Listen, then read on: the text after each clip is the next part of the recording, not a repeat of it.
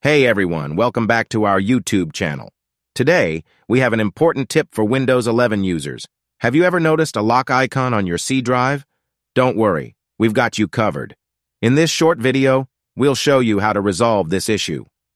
To get started, open the Windows 11 Start menu and click on the Settings icon. Within the Settings window, scroll down and select Privacy and Security. Under the Privacy and Security settings, you'll find the Device Encryption option. Click on it. To disable device encryption, simply toggle the switch to the off position. If you have BitLocker turned on for your device, it's important to be sure you have the recovery key backed up somewhere.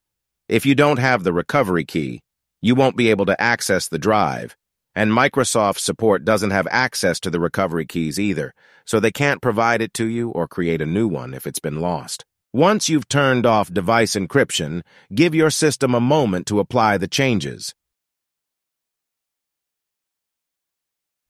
And voila! The lock icon should no longer be present on your C drive. That's it for today's quick tip on resolving the lock icon issue on your C drive in Windows 11. We hope you found this helpful. Remember, if you have BitLocker enabled, make sure to back up your recovery key in case you need it in the future. If you did find this video useful, don't forget to give it a thumbs up and subscribe to our channel for more useful tech tips. Feel free to leave any questions or suggestions in the comments below. Until next time, take care.